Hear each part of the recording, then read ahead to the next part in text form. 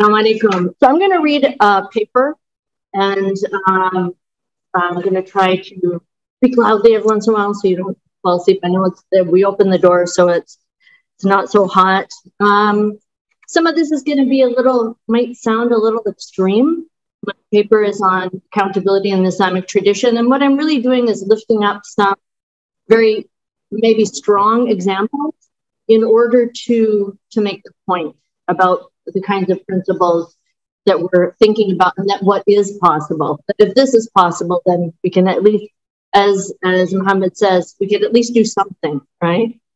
So let me begin with uh, a little story uh, about the Umayyad Caliphate.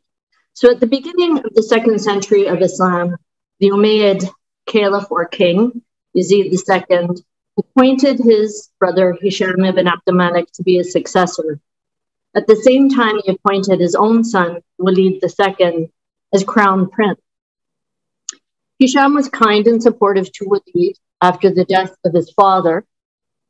But when, as a teenager, he began to, quote, show signs of wanton behavior and drink wine, Hisham tried to restrain him by separating him from his drinking buddies and decreasing his allowance. In protest, Walid, following the example of some previous Umayyad rulers, invoked the core theological doctrine of qadr to claim that he had a right to the allowance he had been receiving and a right to, the, to inherit the caliphate no matter how he behaved. He rebuked his uncle's actions, saying, I never thought that God would test Amir al-Mu'mineen like this, nor that he would defame me like this the succession which God has decreed for me, the span of life which he has ordained for me, and the substance which he has allotted to me are matters which nobody apart from God ever diminish by one jot in their appointed term, nor can anyone change their allotted times in any way. For Qadr runs according to his predetermined decisions, irrespective of the wishes of men. Hisham replied to Walid's invocation of Qadr, saying, As for that which you say God has ordained for you, it was God who gave me, Amir al Mu'mineen, precedence in that respect. And he chose him, meaning me, for it, and verily a God, God attains his purpose. The commander of the faithful has come to the firm conviction that it is not for his own profit that he possesses what God in his goodness has given him for the attainment of good or evil, but that it is only a trust and manna to him from God, and that inevitably he will one day relinquish it, meaning he will die. Now, despite Hisham's fears about Walid, he didn't take more action to, or he didn't revoke his nephew's appointment. So the Umayyads had developed a custom that Caliphal appointments to dynastic succession are binding. And even if Hisham wanted to revoke it, Walid had a group of strong supporters whom he had bought with patronage. And so challenging him would risk great upheaval. When Walid became caliph after the death of Hisham, he boosted his support among the public by showering benefits upon the Syrians, including the poor and disabled, pilgrims, soldiers, and large influential families. He sent out floridly rhetorical letters describing his authority as divinely decreed and established by a chain of transmission from the Prophet Muhammad. The caliphs of God succeeded each other as sovereigns. So this is this is this is a chain of transmission of political authority, right? The caliphs of God succeeded each other as sovereigns over that which God has made them inherit from his prophets and that which he entrusted to them. No one contests the rights of the caliphs without God striking him down. Walid only became more intoxicated with power and wine. Tabari says that his behavior troubled his subjects and his army deeply, and they hated what he was doing. But Walid brutally suppressed any opposition he had his cousins tortured and killed. He had Yahya ibn Zayd ibn Ali, the descendant of the Prophet, killed, his body mutilated. burned and his ashes scattered in the Euphrates. In the end, it was one of his older cousins, Yazid III, who gathered effective opposition against Walid. Yazid claimed that he did not call for Walid's assassination, but that he only sent soldiers to demand that Walid should submit to a shura. But Walid was killed in a skirmish with the soldiers, and his rule came to an end. I think most most Muslims today, and even at that time, saw this Muslim leader's use of core Islamic theological beliefs and discourse to justify his oppression, immoral behavior, and plundering of the treasury to be revolting. Indeed, it was such actions and the reactions against them which set the core questions and framing for the development of the schools of Islamic theology. Today, when we speak about the great harm that can be caused by spiritual abuse, we recognize that oppression enabled and justified by religious concepts and enabled by religious systems of power has the particular harmful effect of alienating many from religion itself and even destroying or harming an individual's relationship with God. As for the issue of removing an unjust ruler from a position of power, well, historically, Muslims never came close to a consensus on how this should be done. For much of our history, justice and stability had an uneasy coexistence at the highest level of political power. Sunni Islam's relatively efficacious response to this challenge was to insist on a limitation of the powers of the ruler, permitting executive authority, but within limits, and restricting interpretive authority to qualified scholars. Separation of powers, limits to authority, established criteria for those considered scholars, and other checks and balances became integrated into Islamic systems. It is such principles and systems that we need to build up today in our Muslim communities to make them places of safety, safety, dignity, and spiritual upliftment for all those who are present. This evening, I want to consider in particular the issue of accountability in uh, uh, issues of accountability. In the Islamic states of the pre modern period, apart from the ruler, it was the norm that all others who held positions of public authority were supervised and were held accountable by someone with more power, greater authority. Chains of commands and paths to accountability were known and generally accessible in traditional Islamic societies parents, husbands, guardians, agents, military commanders, teachers, scholars, preachers, sheikhs, trustees, waqf supervisors, mutawalli or nadir, judges and governors, all who exercise some power and authority over others could in turn be called to account for violating the rights of those over whom they had authority. Now, today it's very common when uh, a public figure or holds a position of trust in the Muslim community is uh, uh, an accusation is launched against them, we hear cries of innocent until proven guilty from supporters of religious figures, these religious figures.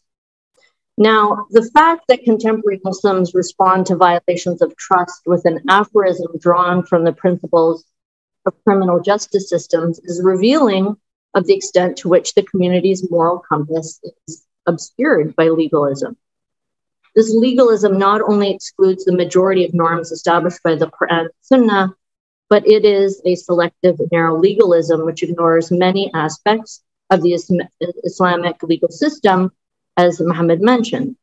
Um, these include certification of witnesses, public regulation, hisbah, um, and administration, administrative law, siyasa sharia.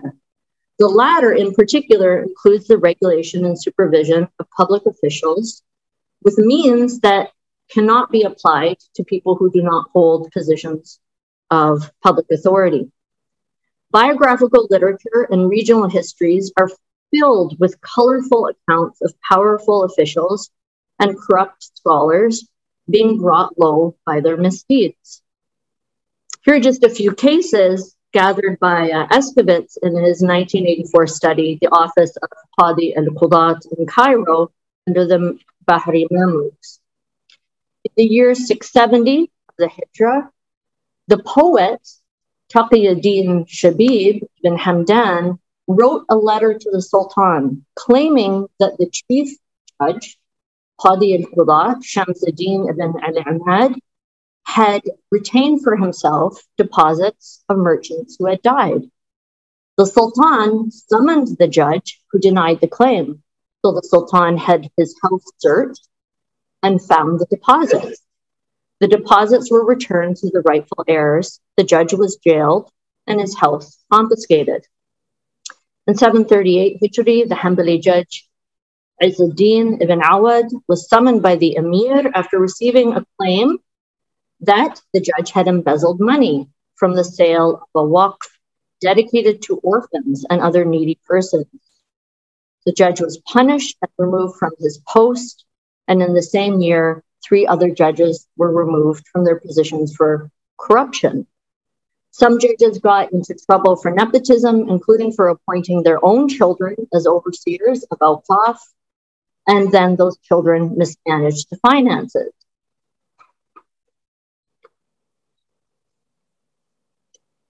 From the time the first Muslim community was established and throughout Islamic history, there has been a clear principle that when a person accepts the position of power or authority, such as religious leadership or being a judge or being an imam, a scholar, religious teacher, preacher, or spiritual guide, they have to accept that their actions will be scrutinized more closely than others. This is because they have accepted a trust that affects not only large numbers of individuals, but also influences the resilience and cohesion of the community. Scholars, preachers, and teachers become role models to many. And when they leverage their position or status, personal gain, disillusionment, and alienation from religious life for many can be consequent. At the beginning of Islam, even those who did not have an official position per se, but had a privileged status in the religious community, often served as role models and had higher expectations. Allah subhanahu wa ta'ala, for example, chose the mothers of believer of the believers, mu'minin, to have this status. They had no political or judicial office, but they were moral exemplars for the community were told by Allah that if they engaged in manifestly immoral conduct, they would suffer twice the punishment as others who committed the same act. At the same time, Allah promised these blessed women that their heavy moral burden would be compensated by their earning twice the reward as others for any good they did. And of course, Allah gave them space to retain that position. And that added moral responsibility. Even the appearance of wrongdoing can damage the trust people have in institutions and systems that are critical to the functioning and ongoing transmission of religious knowledge and norms. Yes, all believers are required to extend the benefit of the doubt to others. At the same time, those in positions of public leadership have the responsibility not only to avoid wrongdoing, but to avoid the appearance of wrongdoing as much as they are able. Because trust is so fragile, cynicism about leaders is widespread and easily exploited by those who wish to exacerbate divisions in society. There are many examples of the Blessed Prophet wasallam modeling this behavior, including the well-known story of when he was standing with one of his wives in a darkened doorway and called out to some companions who were hurrying along that this was the uh, bint Now, some of you who know me uh, know that um, my I have a deep and abiding affection for Sayyidina Umar ibn al-Khattab, may Allah be pleased with him, and uh, gave a number of lectures on Amir al-Mu'mineen Umar as well as uh, Umm al-Mu'mineen, Umm al-Mu'mineen Aisha last year for Cambridge Muslim College. So I often refer back to his example, as do other Muslims when they're looking at the development of administrative law and good governance in Islamic society. Umar was particularly mindful of, of the appearance of wrongdoing to the point where he also gave very strict instructions to his family to, uh, to avoid any appearance that they were benefiting from him being good in mu'mineen. If we turn to uh, the traditional Islamic legal system, we see we, there are many examples, but I'll just give one example of upholding higher standards for someone who exercises power over others. And that is the denial of the certification of probity, adala, for witnesses, so official witnesses, whose lifestyle is intercultural. Even if that person's actions, all of their actions are legal. In other words, in the traditional Islamic legal system, an individual could be rejected as an official witness if he, even if he or she adhered strictly to the laws of prohibition and obligation, but they failed to conform to customary standards of respectable behavior. Here's a typical statement by the 11th century Shafi jurist Abu Ishaq al-Shirazi about rejecting such a person as a just witness.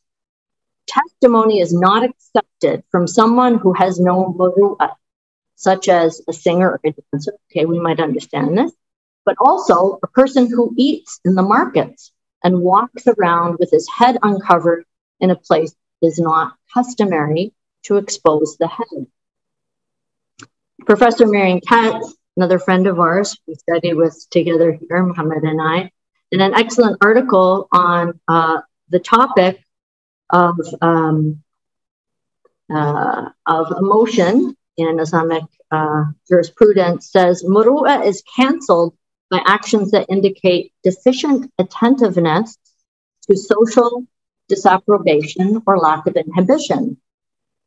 So, in other words, um, these people who uh, were said to have not had muru'a, which is often um, translated as manliness, but I think that's a kind of old fashioned uh, way of translating it. I think that respectability or dignity is a better translation. So, my point in uplifting these criteria is not to, to endorse them for Muslims today, but to show that in establishing these criteria, Muslim jurists held a principle that those being considered for appointment to a public position could be rejected on the basis of behavior that was in no way unlawful. Rather, those jurists were literally using culture to cancel witnesses. If this was the case for witnesses, how much more for those who have more influence and power over many vulnerable people? It is also the case that public officials could be prohibited from engaging in lawful actions simply out of a broader public interest. For example, Sayyidina Umar appointed Hudayfa the governor of Adain. Umar became aware that a number, uh, the number of unmarried Muslim women there had increased beyond what was typical. And then he heard that his governor had married a Kitabi woman. So Umar sent him a message saying, divorce her. Hudayfa said he would not do that unless Umar told him first whether the marriage was lawful or unlawful and what the purpose of his order was. Umar responded that it was a lawful action, but that Arab men were too captivated by the Kitabi women, and he feared that the men would keep drawing closer to them and being alienated from the Muslim women. Hearing this explanation, Hudayfa did what Umar asked him to do. Now, we often hear about Sayyidina Umar accepting public complaints and corrections for himself. The example of a woman publicly objecting to his lawful executive order, and could say, or you could argue, putting an upper limit on the mahar comes to mind. But what about his appointees? Whenever Sayyidina Umar appointed his governors, he would walk out with them to, you know, out to the edge of the city to bid them farewell. And he would say, I have not appointed you governor over Muhammad's community with limitless authority. I have made you governor only to lead them in the prayer, to make decisions among them based on what is right, and to distribute the wealth among them justly. I have not given you limitless authority over them, as you repeated this twice. So here we have a brief, succinct job description, as well as this reminder that this authority and power is limited. In another uh, speech, actually, it was in a Friday sermon, Sayyidina Umar said, and he preached this in the Minbar People, I do not send governors to you to flog you or to take your possessions. I teach them, I send them to teach you your religion and the Sunnah. If anything other than this is done to anyone, he should raise the matter with me. Complaints process, right? Was opening the path for this complaints process. To him in whose hand is my soul, I shall certainly permit the law of retaliation to be used against them. Now, Amr ibn, ibn al-As jumped up and said, will you really permit the law of retaliation to be used against any commander appointed over your subjects who disciplines one of them? And Umar answered, yes, I will certainly permit that. Why should I not when I have seen the Messenger of Allah sallallahu wasallam allowing the law of retaliation against himself? Now, these reminders and ideas are wonderful. The question is how to make them effective.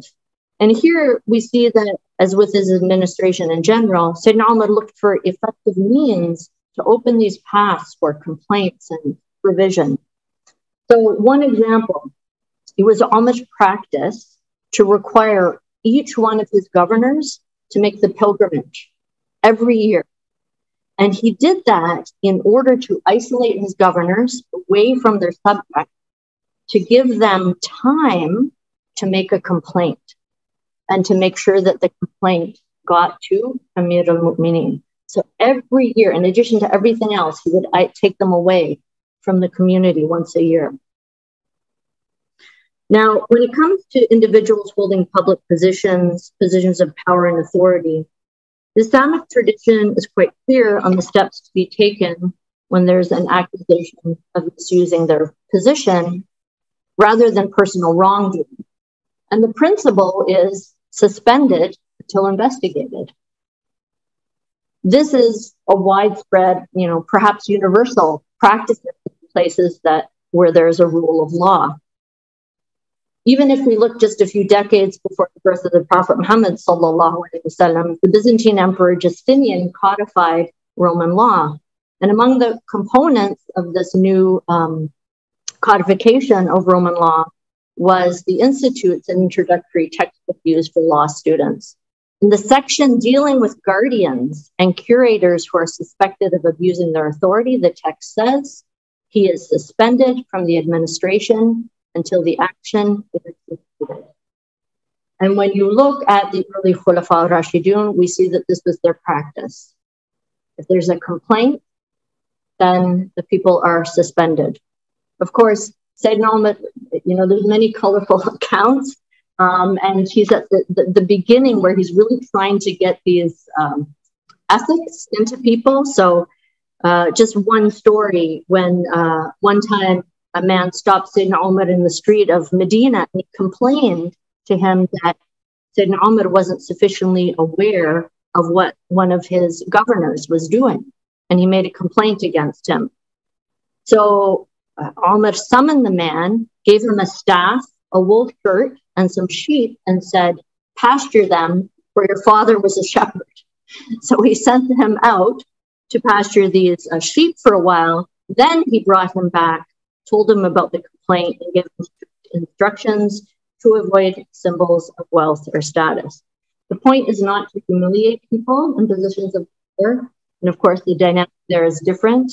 And of course, our executive authorities are not saying, oh, Umar, this is inshallah a cooperative effort that we do together. But again, these extreme examples are to just bring home the point that these principles are, are, are firmly founded in the Islamic tradition from the beginning.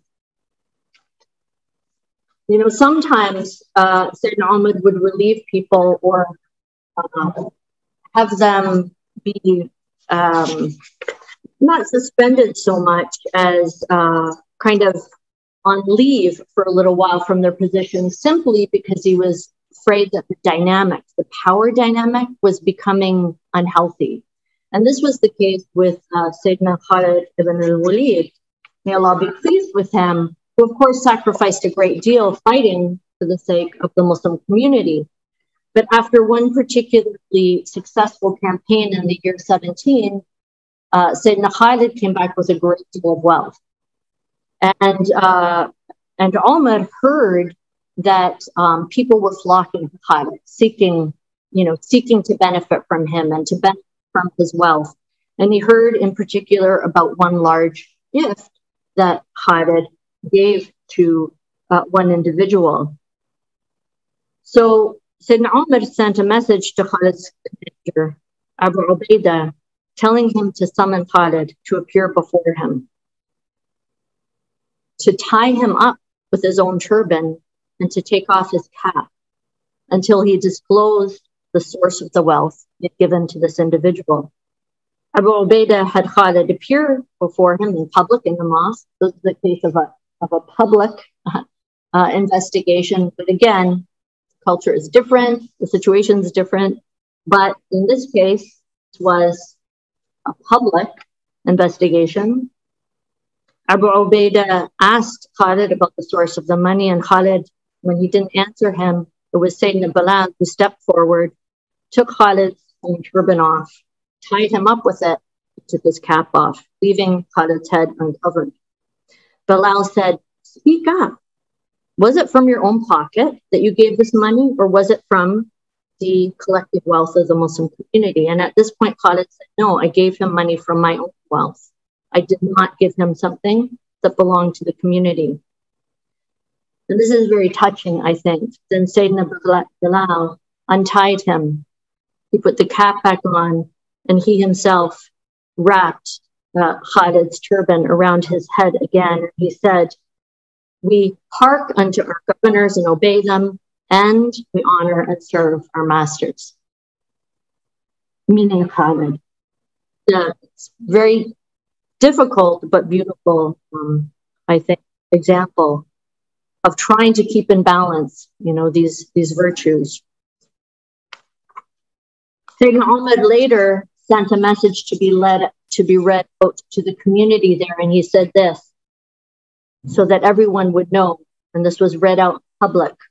I did not relieve Khalid from his post because he caused me displeasure or because of deceit on his part, but the people were captivated by illusions on account of him.